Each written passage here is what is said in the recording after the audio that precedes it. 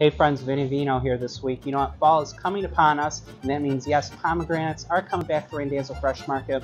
Come by the store, check them out. We always have them fresh at our three locations. But you know what? In the wine department, we're happy to support the first ever pomegranate hard seltzer. Yes, folks, you know what?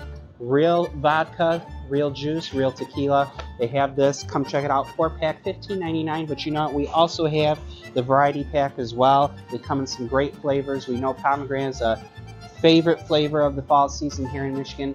So come and try them out. Come check out our fresh pomegranates when they come in, and I'll see you around.